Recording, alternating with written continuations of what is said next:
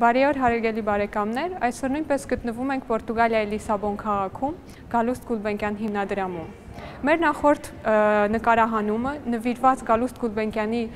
կյանքին եւ կենսագրությանը մի կյանք ոչ թե մեկ ցուցադրություն անվանման բավականին մեծ հետաքրքրություն եւ արձագանքներ առաջացրեց։ Ընթառաջ գնալով մեր դիտորդների խնդրանքներին եւ արձագանքներին, որոշեցինք ձեզ ներկայացնել մի շարք, որի ընթացքում կարող ենք ներկայացնել Գալուստ Գուլբենկյան հիմնադրամում տեղի ունեցող եւ գտնվող այլ ցուցադրությունները։ Այսօր կցանկանայինք ձեզ ներկայացնել իսլամական արվեստին նվիրված ցուցադրությունը, որի մուտքի մոտ ես հիմա գտնվում եմ եւ այսօր նույնպես ինձ այդ գործում կօգնի Գալուստ Գուլբենկյան հիմնադրամի հայկական համայնքների բաժանմունքի տնօրեն պարոն Ռազմիկ Փանոսյանը։ Բարև Լեա, ինչպե՞ս ես։ Բարև ձեզ, պարոն Փանոսյան, ինչպե՞ս եք։ Շատ լավ, շատ լավ, դու ինչպե՞ս ես։ Շատ լավ, շնորհակալ եմ։ Կարող ենք սկսել եւ այսօր մեզ մեր ունկնդիրներին ներկայացնել իսլամական արվեստի որոշ ցուցանմուշներ։ Շատ բարի։ Ուրեմն հիմա ցուցահանդեսի մուտք գնենք ասկեգը սկսի մուտքին արդեն այս սալիկները կան այս սալիկները Կարլոս Գուլբենգյանը գնաց է 1923 թվականին եւ սալիկները գուքան 1570-ական թվականներին Դամասկոսեն բիդի նշմարեք որ իզնիկի ասանք որոշ բամ ունի, մոդեցում ունի, որովհետև այդ ժամանակ Դամասկոսը նոր Օսմանյան գայսության մաս կգաց մեզ եւ իզնիկեն բավական մարտիկ կացած էին արեստավարժ մարտիկ մասնակետներ, որովհետեւ այս սահլիկները պատրաստեն։ Գյուլբենգյանը 1952-ին այս սալիկները նվիրեց Պորտուգալի ասկային թանկարանին եւ աստուցանտեսին համար մենք սալիկները յետ փոխավինք 1952 որպես ոստեղը ցույց տանք։ Ցեվոմը կներկայացնե միջին արևելք մտնալու գաղափարը։ Շատ բարի։ Պարոն Փանոսյան, դուք նշեցիք, որ սալիկները պատկանել են ժամանակին Գուլբենկյանի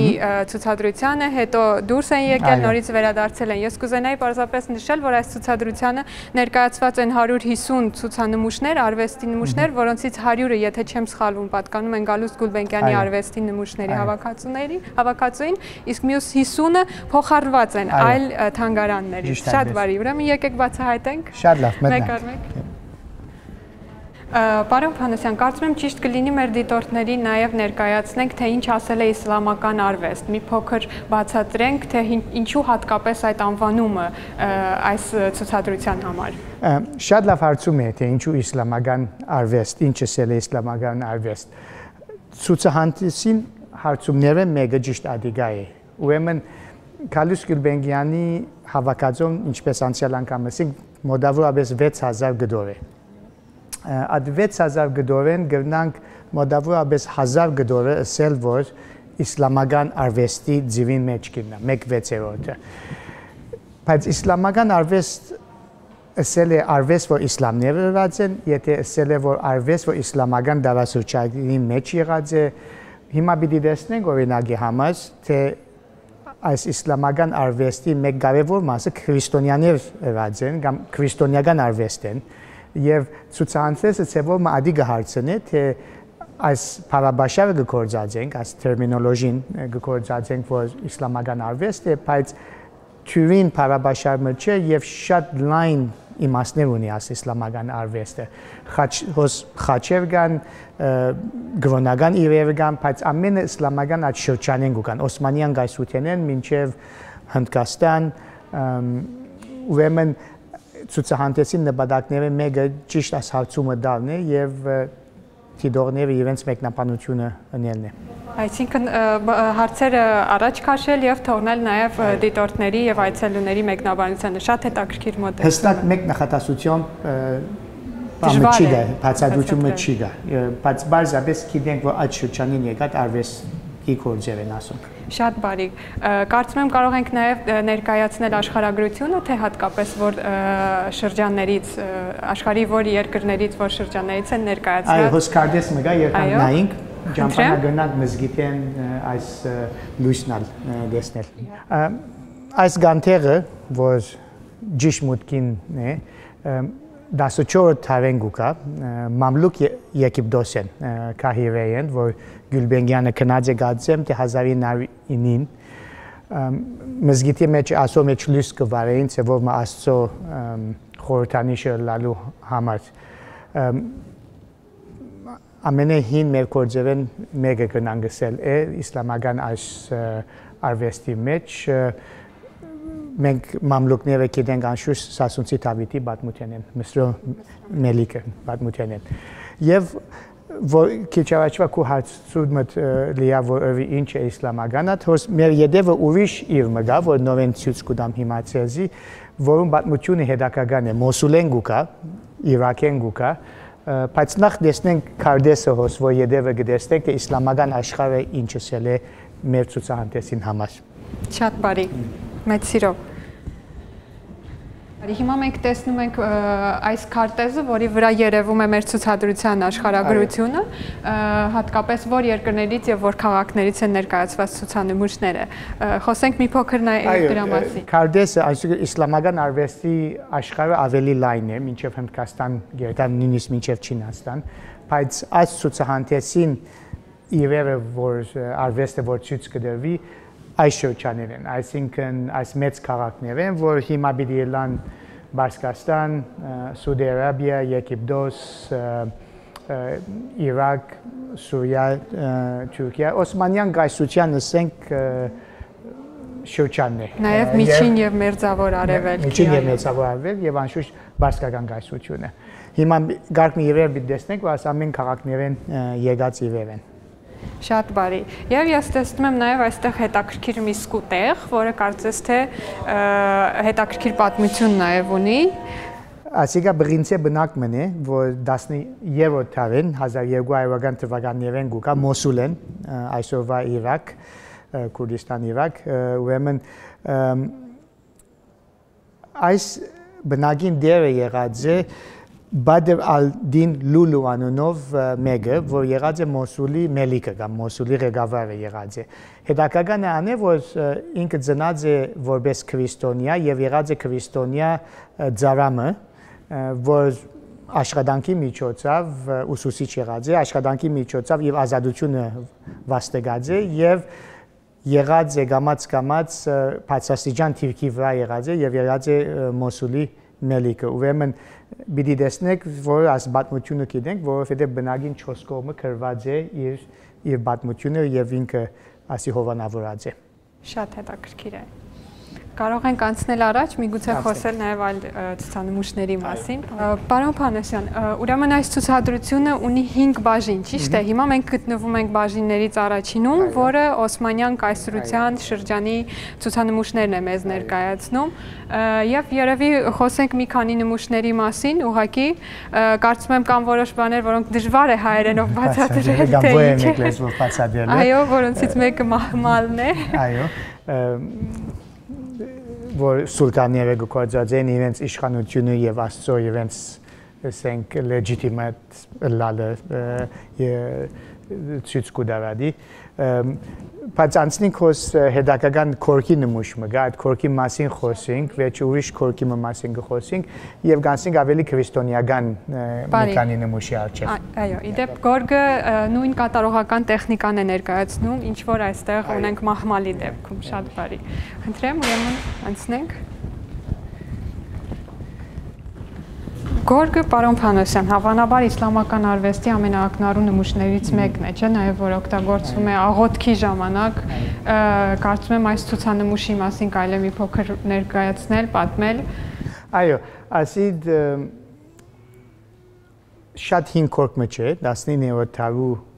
աղոթքի կորկմն է, իսլամական աղոթքի կորկմն է, որ Գյուլբենգյանը քնած է։ Գյուլբենգյանը ցանկին ընթացքին հազարավոր կորկ քնած եւ է իր մենք մեր հիմա թանկարանին հավաքածոյի մեջ ունենք 100 կորկ, որ ինքը բահած է այդ 100 կորկը, այս այդ 100 կորկերը մեկն է։ Սիվաձե կորկ ինքը ցանկին ընթացքին սիվաձե քնել եւ ցախել այդ կորկերը։ Հիմա ասիկա ինչպես էսի իսլամական թեմայով աղոթքի կորկ մնե փուրթեշինված օսմանյան ոճով քիչ մանտին ուրիշ կորկ մգա, որ մեդաքսե շինված է, եւ տանք ադիգա նային, քանի ադո բատմություննալ հետակական։ Շատ բարի։ Ահա, պարոն Փանոսյան, երկրորդ կորգը, որի մասին դուք նշում եք, այս անգամ մեդաքսից, ոչ թե բրդից պատրաստված։ Այս կորգը կումկապի կորձ է բոլսո մեջ, բայց վստահ չենք, եթե բոլիս եղած է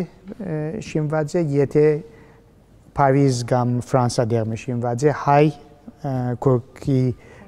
վարպետներու մասնակիցներու գողմե։ Կորքի շատ հետաքրքրական է, որովհետև գախում ունի որ դեսանգյուն են գնայիս, եթե ասկոմեն նայիս սև գևևնա, եթե անգոմեն նայիս ջերմակ գևևնա, ադի վարպետներին աշխատանքն է, որ մեդաքսով գրծել են այդ երկու դարբեր քույները դալ։ Հիմա ասիկ ուրիշ կորքեվական ցուցահանդեսին ընթացքին, բայց հիմա կորքեն անցնենք ուրիշ տեսակի արվեստի, որ կորքին յեդևը հոս կա։ Հոսունիկ նկարը, որ 1902-ին կծված է բոլսո մեջ Օսման Համիդ Բեյի կողմէ, եւ որ շատ եւ հետաքրքրական երևույթ մը գտեսնենք, թե ինչպես այս ժամանակաշրջանին Օսմանյան գասության մեջ սկսել է ոճը փոխվել նյութը իսլամական նյութ մնե, այսինքն մեկը Կորանը գարտա, հավանաբար մուֆտիմը Կորանը գարտա, բայց ոճը բոլորովին եվրոպական ոչ մնե, եվրոպական իվաբաշտ ադ ոճն է, որ օգտագործած է։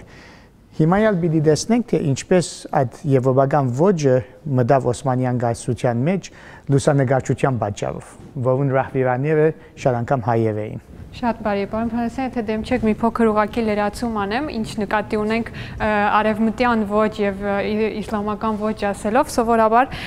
իսլամական ոճում հերանեկարի հասկացությունը նկարչության մեջ արտահայտված չէ, իսկ այստեղ տեսնում ենք ստվերներ, հերանեկար, որը ակնհայտորեն, ինչպես եւ նշեցիք, արևմտյան արվեստի ազդեցություն է։ Շատ բարի, ուրեմն Եվ ավելցնեմ, որ աստեցությունը վգավ երկուստեկ էր, այսինքն եվրոպական աստեցությունը իսլամական աշխարհին վրա եւ քիչ մվեջ պիտի տեսնենք այդ գուժեր գանաբագի թե ինչպես իսլամական աստեցությունն ալ ունեցավ Եվրոպայի մեջ։ Արվեստների սիմբիոզ։ Այս բարակային Օսմանյան գասության այդ եվրոպացումի մեկ մասը։ Այս ոճը լիա նաև ավելցնեմ, որ հայ արվեստագետներ ալ այս իվաբաշ ոչ թե բավական գործած էին Օսմանյան գասության վերջավորության օրինակ Գավաբետ Նշանյանը որ այդ ժամանակաշրջանի արվեստագետ մներ այս տեսակի ցևով գծեր Իստանբուլի մեջ թեփքեր կամ անհատներ եւ ուրիշ այսպես արվեստագետներ կային հայերեն մերգուն անունը չեմ հիշև հոս գրած եմ Սիմոն Հակոբյանը, այո, Սիմոն Հակոբյանն էլ այսպես ոճով գկցեր։ Շատ բարի, հետաքրքիր է իմանալ այս մանրամասները։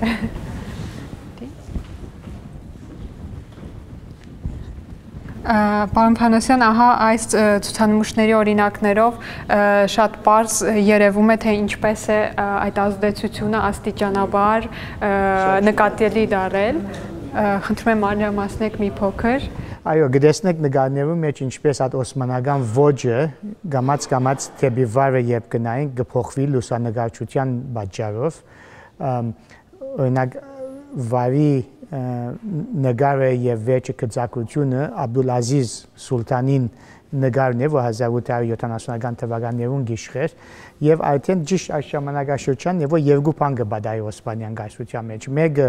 եվրոպական նորություններ կմտնան, այսինքն ոճը, քերավեստի ոճը, եվրոպական այդ մոդեցումը, եվաբաշ մոդեցումը մանավանդ, եւ նույն ժամանակ ժամանակ լուսանկարչությունը գզարկանա Օսմանյան գայսության մեջ։ Օրինակ Աբդուլազիզ Սուլտանին այս նկարը, որ վերջը կծակություններով վերածվեցավ, նկարված է Աբդուլլա եղբայրներուն կողմէ, որ հայ լուսանկարիչներ էին եւ Սուլտանի լուսանկարիչներն էին։ Պարոն Փանոսյան, դուք ձեր խոսքում սկզբում նշեցիք, որ իսլամական արվեստը իր մեջ նաև ներառում է քրիստոնեական արվեստի որոշակի ազդեցություն, այլ ակնառու տեսնում եմ հիմա այստեղ նմուշներ, որոնք խոսում են այլ կրոնի մասին։ Խնդրեի նաև մի փոքր խոսեք այս նմուշների մասին։ Այո, օրինակ մատիկ պիտի զարմանան, թե երբ երբ ցուցահանդեսին անունը երբ իսլամական արվեստ է, խաչ կա, անշուշտ խաչի իսլամական արվեստի աշխատանքը չէ, բայց իսլամական աշխարհի մեջ են գուկա անիմաստով քրիստոնյա փոքրամասնության կորձն է։ Հոսունի կուտայային նմուշներ եւ աս արձատիա բսակները ասենք գամ հունական հունական են հոգեվորականների չեն ասոնք լիա, ասոնք ամուսնության կամ բսագի կահերն են, որ հունական սովորության մեջ երբ զույգը բսակվեին, այդ կահերը գահակներին, կահ չեն ուղղություն։ Թագերը։ Բարեկամներ, հիմա գտնվում ենք երկրորդ սրահում ցուցադրության, որտեղ ներկայացված է իսլամական արվեստի հանդեպ սերը, այսպես ասած, իսլամոֆիլիա կոչված սրահում ենք հիմա։ Ինչ է սա իրենից ներկայացնում։ Ինչպես պարոն Փանոսյանը քիչ առաջ նշեց, երկուստեք մեծագույն ազդեցություն էին ունենում արևմտյան եւ արևելյան արվեստները եւ լինելով շատ գեղեցիկ նմուշներ արվեստի, արևմուտքի վարպետները փորձում էին ինչու՞ չէ նաեւ նաև կրկնօրինակել եւ իսլամական մոտիվներով այլ նմուշներ ստեղծել։ Այստեղ տեսնում ենք շատ հետաքրքիր մի երաչափ ցուցադրություն կարելի ասել, որոնցից մեկը առաջինը Ուրեմն իսլամական լամպ է, իսլամական կանթեղ, որը Գալուստ Գուլբենկյանը ձեռք է բերել ֆրանսիացի Շահ Շեֆոյի արևելագետ եւ արևելյան արվեստների հավաքածուի տեր մի անձնավորությունից 1919 թվականին։ Երրորդը, որը իր ձևով եւ տեսքով շատ նման է, այս կանթեղի կրկնօրինակն է կատարված ֆրանսիացի վարպետների կողմից։ Եվ տեսնում ենք, ահա երրորդ նմուշը այս կանթեղների նկարչությունն է, նկարված օրինակը, որի միջոցով Եվրոպայի արվեստագետները փորձում էին սովորել արևելյան նկարչությունը, արևելյան արվեստի կատարողական տեխնիկան եւ կատարողական մանրամասները եւ փոխանցել, ահա տեսնում ենք կրկնօրինակ եւ բնօրինակ կապի մեջ այս հետաքրքիր աշխատանքը։ Հիմա շարունակենք, անցնենք նաև հաջորդ սրահին, որտեղ պարոն Փանոսյանը մեզ կօգնի ծանոթանալ նաև հայկական ներկայացուցչությանը այս հետաքրքիր ցուցադրությանը։ Եվ ահա երրորդ սրահը մեզ ներկայացնում է հայկական սփյուռքը Օսմանյան կայսրությունում։ Պարոն Փանոսյան, ինձ համար շատ հետաքրքրական է թե ո՞րն է հայկական սփյուռքի տեղը, այ ինչքանով է կապված կամ որքանով է նրա ազդեցությունը այս ցուցահանդեսի կազմակերպման հարցում, նաև հայկական համայնքների բաժանմունքի մասնակցությունը եւ կապը այս ամենի։ Խնդրում եմ մի փոքր ներկայացնել։ Այլազան հարցումներ եմ գպոցի մասամաս բացատրել։ Հոս բզիկ բացադրություն մգա սպիրկ Armenian diaspora որգսը այս սրահը երբ հետազոտությունները գնային որբեսի աստծուցահանտեսը բادرաստեն անդրադարձան որ Գյուլբենգյանը ցանց մոներ հայ ասենք վաճառականներու եւ մասնակետներու եւ իսլամական արվեստին մեկ որ կնաձե մեկ կարորդը կնաձե հայերը որ քիչ ամեն գոմեին Բաղդադ, Եգիպտոս, Ալեքսանդրիա, անշուշտ Իստանբուլ, ուրեմն եւ իրեն հետ միշտ կապի մեջ էին։ Մենք ասիկա կդանք, ուզենք ասիկա վաճառել, ցեզի համար շատ հետաքրքրական գլա եւ այդ նամակակությունը գա, որ հիմա գտեսնենք։ Ուրեմն այս ցանցի մասին է մեկ կարոտի ինչպես էսի ուղագի հայերեն կնած է, իսկ ուրիշ 35% մնալ հայերու միջոցով կնած է ուրիշները։ Ասվահը ացանցուցից կուտա, որ մի գվստահեր իր ասենք մի քանի անհատներու, որ իրենք ձախեին իսլամական արվեստ, որովհետև գաբեր ունեին Բասկաստանի մեջ Եգիպտոմիսի մեջ ինչպես էսի եւ իսլամական ուրիշ քաղաքներու մեջ հոս ունենք շուրջարմը, որ 17 17-րդ թարեն գուկա Բարսկաստանեն, Իսվահանենը եթե չեմ սխալիր, դեկա ճշտեմ թե Սաֆավիդ Բարսկաստանեն է 17-րդ թարեն եւ նորեն եպիսկոպոսի մը շուրջարն է։ Շատ բարի։ Քրիստոնեական անշուշտ մոտիվներով մոտիվներով նկարներով Եվ ուրեմն եթե շարունակենք այս սվահը, նաև գտեսնենք ներողությունը, լիա գտեսնենք այս նամակագրությունը, որ հոս գներգայացվի ուրեմն այս անունները, որ Գյուլբենգյանը հետերին գործակցեր, Քելեկյան, Ինջույան, Քևորկյան, ասոնք կարևոր անուններ են, որ ասոնք կարևոր անուններ են, որ նամակակությունը կա։ Եվ նամակակությունը դարբեր դարբեր դերև է, ինո Բեյրութեն, Դամասկոսեն, Թեհրանեն, գշարնակվի մինչև եվրոպական երկիրները, Վիեննա, Պրագ, եւ ընդհանրապես նամակակությունը ֆրանսերեն անգլերեն է եւ խոսալ նամակ մունինք, որ հայերեն է, ինքը հայերենով ալատ նամակակությունը ուներ, որ գծուցածվենք, բավական վստահելի անձնավորություն մնե, որ մասնակետ ալև արվեստի Դիկվան Կելեկյանը, որ գսե ամենաբադուվ կալուստ Էֆենդի Գյուլբենգյան, ծև 4 տվակիր նամակը ստացա եւ այլն եւ այլն։ Եվ ասնամագներուն նյութը այս արվեստը կնելն է։ Այո, ինչու՞ չէ նաև խուսափել խապված լինելուց, որովհետև արվեստի աշխարհում քիչ չեն դեպքերը եւ կարող են փաստի առաջ կանգնել գնելով կրկնօրինակները։ Այսպիսով նա ուներ Գուլբենկյանը փաստորեն ուներ վստահելի ցանց։ Այո, հոս օրինակ մոնինգ թուրմը, որ է, անշուշտ կխապվեին ադեմը, են գարձելով որ 16-րդ տարի, բայց 19-րդ տարի գտնօրինակի։ Նույնիսկ ամենախելացի մարդկանց հետ պատահում է։ Անտեսին քիրքին կատալոգին մեջը այս նկարը կա լեյա, որ ցույց կուտա թե ո՞մ է քաղաքի մեջ Կալուս Գուլբենգյանը ով ուներ, որ իրեն կներկայացներ եւ իրեն ուշադրության կհանցներ արվեստի կոդեր, որ շուկային վրա գուկային ձախու որ գնալալ Գիլբենկյանի հետաքրքրված է լա։ Գտեսնեք, որ հայերու անուններ են, որ հոն տրված է, մինչև Մումբայ, Հնդկաստան, մինչև Բեժինգ, Չինաստան, մարդիկ ուներ, որ իրեն գդերեգացնեին, թե ինչ կա շուգայի մեջ։ Ասիկա ուրեմն իր ցանցին բացադրությունն է։ Նաև ուրիշ նյութով մը անդրադառնամ, թե 1920-ական թվականներում Քալուս Գյուլբենգյանը սկսավ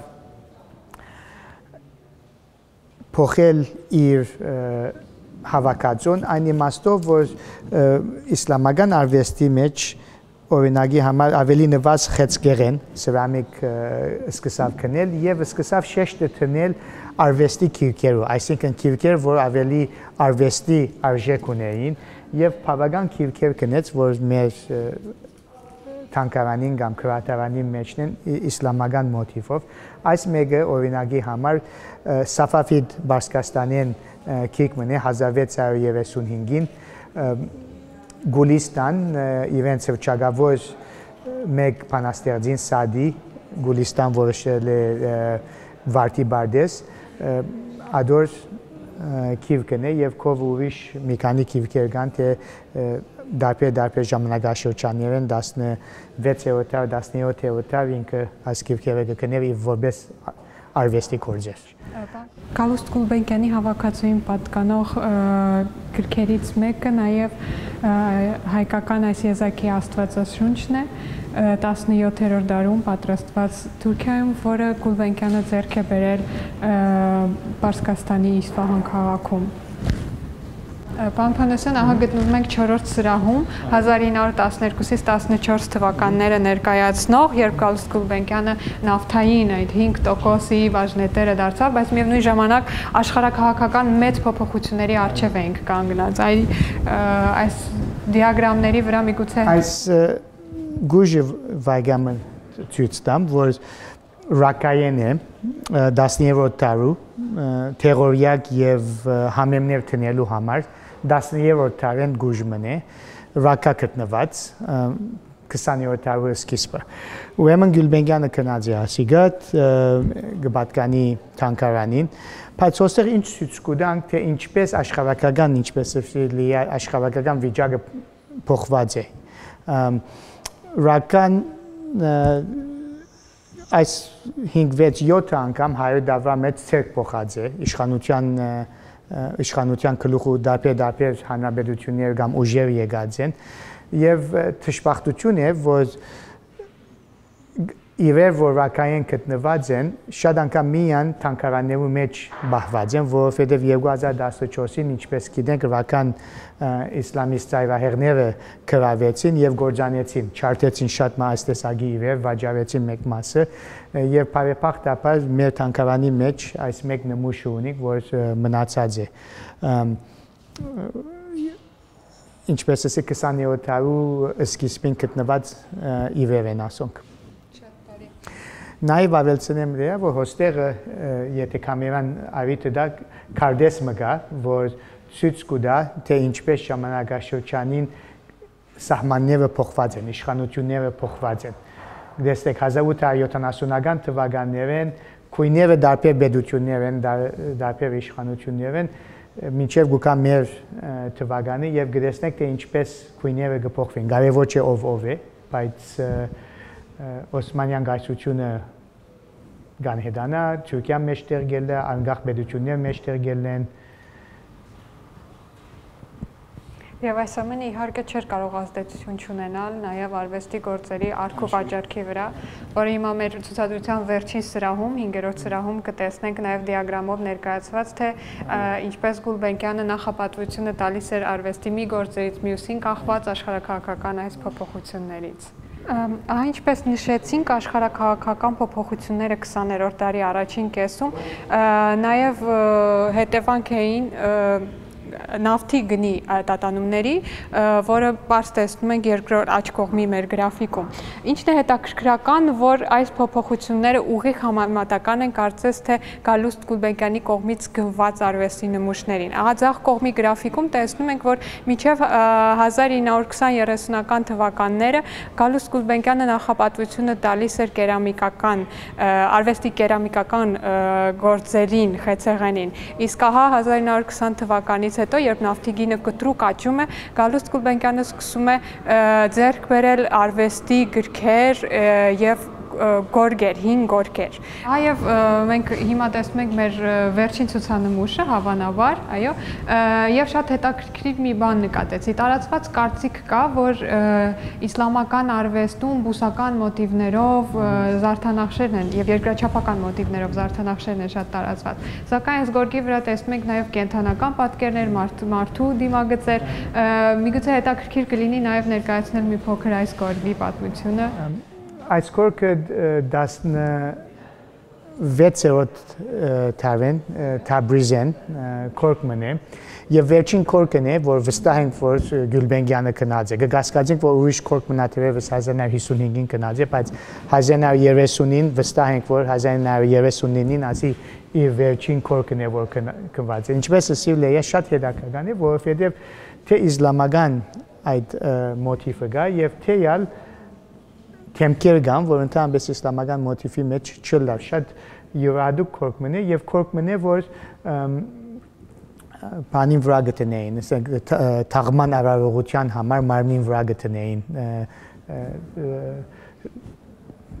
եւ Գյուլբենգյանը ինչպես ասենք շատ կորկի հմուդություն ուներ եւ այս կորկը կնած է 1939-ին Շատ լավ, շնորհակալություն պարոն Բանոսյան, կարծում եմ շատ հետաքրքիր ստացվեց եւս մեկ այց Գալուստ Գուլբենկյան թանգարան տեսնելու համար այս հավաքածները։ Հուսով եմ մեր դիտողները նույնպես հետաքրքիր համարեցին եւ հետագա մեր հանդիպումների ժամանակ միգուցե ներկայացնենք նաեւ այլ ցուցանմուշներ։ Շնորհակալություն դերացի։ Հաջողություն պարոն Բանոսյան, շատ շնորհակալություն։ Շնորհակալություն։ Սիրելիներս, իհարկե այս կարճ ժամանակահատվածում շատ դժվար է ներկայացնել բոլոր ցուցանմուշները մեկ առ մեկ, բայց հուսամ, որ մենք կարողացանք ձեզ ընդհանրական կերպով ներկայացնել իսլամական արվեստի այս փոքրիկ անկյունը Գալուստ Գուլբենկյան հիմնադրամում։ Շնորհակալություն, կհանդիպենք։